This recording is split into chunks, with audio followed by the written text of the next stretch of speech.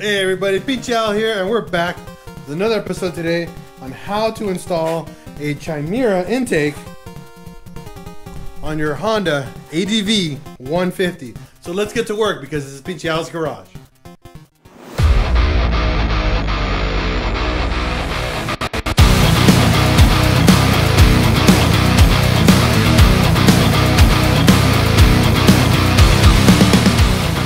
Watching my uh, little mini series of uh, Honda ADV stuff. You guys should already have a video to remove the seat and tub, so we have full access here to the uh, engine compartment, so we can remove the intake.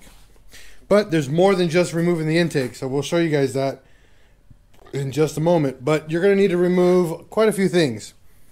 Um, the intake, intake tube, and the actual intake box. I just figured out that you need to remove the boxes. If you don't remove it, you cause some other fun damage. It's not permanent, it's just annoying. Uh, so, down here, you should have a little clamp here that holds the uh, intake pipe uh, to the throttle body right here. Um, we'll show you guys that in just a minute. I'm going to bolt back in the factory one in right now so you guys can see what I mean. So the factory intake should be very close to this. It's obviously still out of the box, but it should snake into the actual intake box here. Uh, you'll see here there's a uh, Phillips screw right here at the top. All you're going to do is break that sucker loose counterclockwise and pretty much you're going to wiggle it up and down and yank it out. Once you do that, like that, you got to remove the air box with it all as one piece. Now the air box is kind of special. Uh, it's mounted through a part back here and a couple parts around the actual box itself. So what you're going to want to do is start removing the main screws off the air box.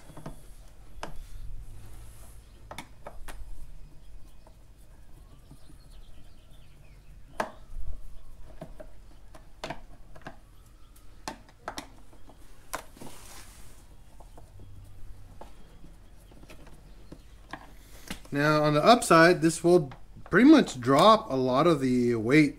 This box with the factory filter and all that weighs a decent amount. So less weight, more speed. That's for dang sure.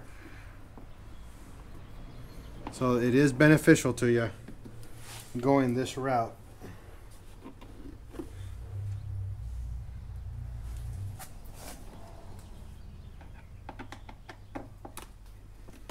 Now there are two, a couple uh, eight millimeters that you have to take off down here um, because they block a couple screws uh, on the intake box.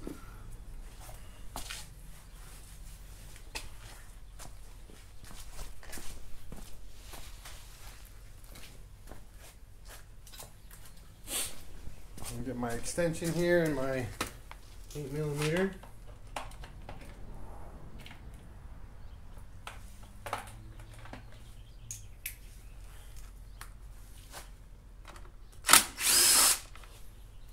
one and two. Off this little dress piece right here. And it should expose one, two more screws.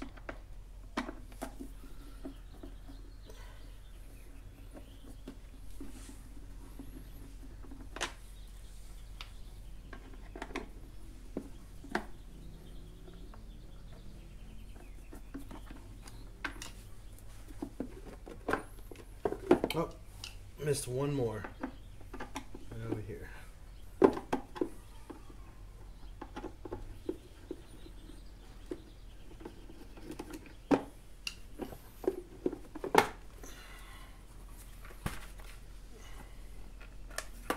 So you should have a total of one, two, three, four, five, six, seven, eight, nine screws to take off the entire air box, uh, the cover. Um, there's an Allen bit right up top.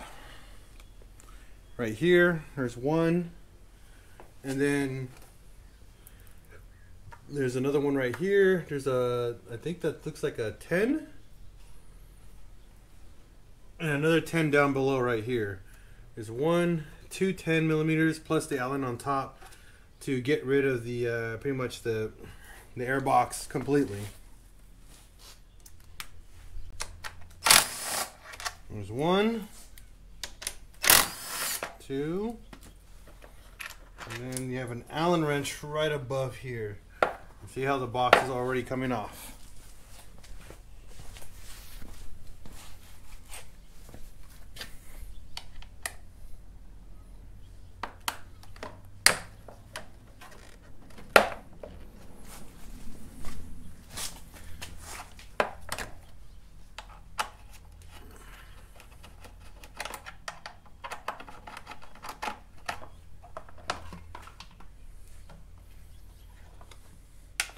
So there's a downside of doing this.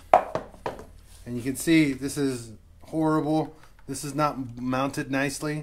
So the next step is to figure out how to address this because I'm not a big fan of what this looks like right off the bat. Like I really just don't like the way this looks. Um, so I'm thinking about 3D printing a aesthetic piece that goes here to here and maybe a little brace that goes straight up here to give it a better little aesthetically like just make it just pleasing because this just looks horrible honestly. Um, I mean the intake is definitely going to benefit but as a whole this thing just looks bad honestly. Uh, the bolts that we removed don't affect anything in here at all. So they're not needed to stay here so we're probably going to order some smaller bolts to fix this for aesthetics. And again, we're probably going to make a little plastic cover here to here to fix this uh, this look and a little tower, maybe a little triangle to fix the way this looks. Because again, I'm not a fan. And if you guys like something like that, I might be able to design something and uh, put up on put up on my online store and hook you guys up.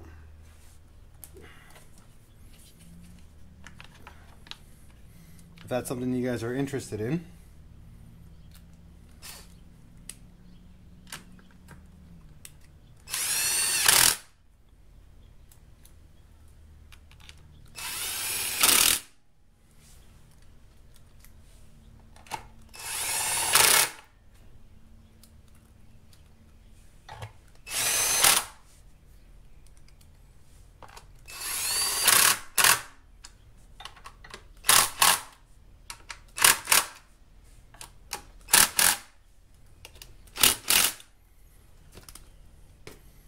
So now you have this big old handful of screws and this ugly compartment now done.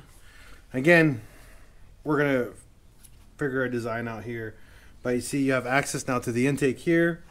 Uh, there's a breather portion here for the recirculation of the gases into the intake. So that's what you need next with your new Chimera intake. Mine's all busted. I'm going to have to order another filter. Um, but this is it right here. So what we recommend is that you make sure the clamps and the the uh, Phillips portions are facing up towards you. There's an attachment here with a barb fitting that we already installed here and it's going to be fed right inside. Get you guys up close there.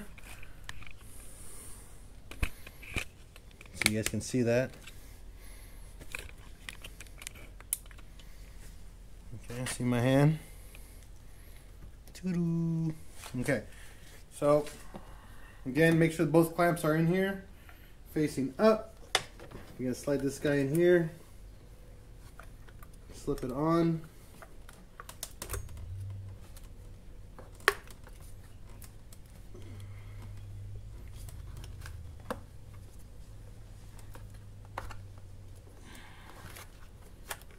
what becomes a problem is the the lower the back clamp becomes kind of difficult because the way it likes to slip on. Um, try not to get it caught. I'll show you guys what I mean. So you want the back clamp to get down first, nice and snug.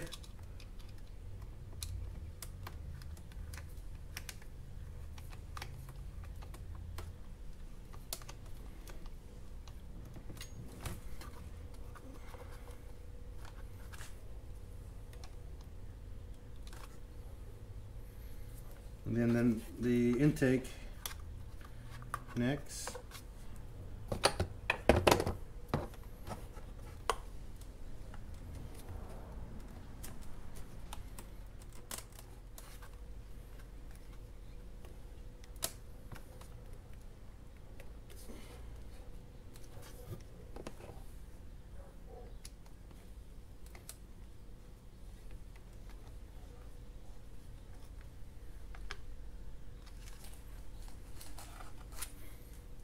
Okay.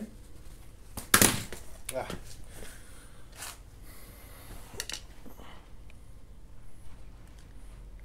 You guys can see intake goes in. Make sure it's not hitting anything on the top or bottom. Make sure it's clear of any debris. You'll see here's the barb fitting.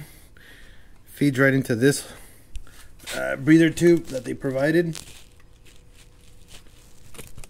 Just like that make sure it's pushed in as far as you can push it in. And it's underneath the, the, the throttle lines right here. So it doesn't pinch or bend on anything. This I jacked up. It's my fault. I should have taken the air box but I thought I could leave the air box in here. With this in here without damaging and I ended up damaging some stuff. So I just damaged primarily the uh, the filter which is not a big deal but now I gotta get it replaced because it looks horrible but yeah, that's where you want it to sit because once you sit on your bike, this push the top of this body goes down and ends up sitting on this. So that was my fault. Once you have that installed, uh, type your tighten down your clamps, uh, the two clamps on the throttle body, and those you guys can see pretty much how I did it. You'll see there's one a little bit further back, and then this one um, a little bit further up and you want to make sure they're as straight as you can make them. And that's it. That's how you install your uh, your Chimera intake on your Honda ADV 150. Uh, next is we're gonna start. We're gonna do the variator and uh, clutch uh, install.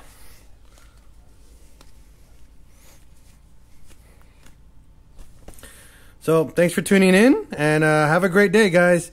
Peace out and have a wonderful day.